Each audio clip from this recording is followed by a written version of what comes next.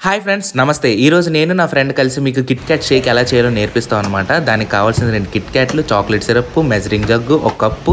దాని తర్వాత ఫ్రిడ్జ్లో ఉన్న పాలని జాగ్రత్తగా తీసుకొని పెట్టుకోవాలన్నమాట. అమ్మబాబాయ్ ఒలిగిపోయి. ఎనివే ఆ మెజరింగ్ జగ్లో పాలు వేసుకుంటాం. పాలు వేసుకున్న తర్వాత ఇది పక్కన పెట్టుకుంటాం అనమాట ఏదైతే జగ్గు పాలు తీసామో అది ఫ్రిడ్జ్లో జాగ్రత్త పెట్టుకొని ఈ యొక్క కిట్ క్యాట్ తొక్కలు ఐ మీన్ దాని యొక్క కవర్లు బయట తీసుకొని చక్కని పెట్టుకుంటాం అనమాట ఈ తొక్కలు ఐ మీన్ కవర్లు పక్కన పెట్టేసి దాని తర్వాత జార్ పెట్టుకొని అందులో పాలు వేసుకుంటాం అనమాట మిక్సీ జార్లో. దాని తర్వాత ఈ మిక్సీ జార్లో ఈ కిట్ క్యాట్ కూడా వేసుకుంటాం అనమాట కిట్ క్యాట్ వేసుకున్న తర్వాత దీనికి మూత పెట్టి స్విచ్ ఆన్ చేసుకొని మిక్సీ బ్లెండ్ చేసుకుంటాం. ఆ బ్లెండ్ చేసే లోపలికి మనకి పాలగడ్డలు కావాలి. కొద్దిగా తడిపి ఈ పాలగడ్డలని మనం కొట్టుకుంటాం అనమాట కట్టింగ్ చేసిన తర్వాత ఈ పాలగడ్డని నీట్గా జాగ్రత్త వేసుకుంటాం. దాని తర్వాత చాక్లెట్ స్కూప్ దాని తర్వాత వెనిలా స్కూప్ వేసుకొని బ్లెండ్ చేసుకుంటాం. టేస్టీగా ఎమ్మీగా కిట్ క్యాట్ షేక్ అనేది రెడీ అయిపోయింది. మా ఛానల్ సబ్స్క్రైబ్ చేసుకోండి. ఓకేనా? Bye bye.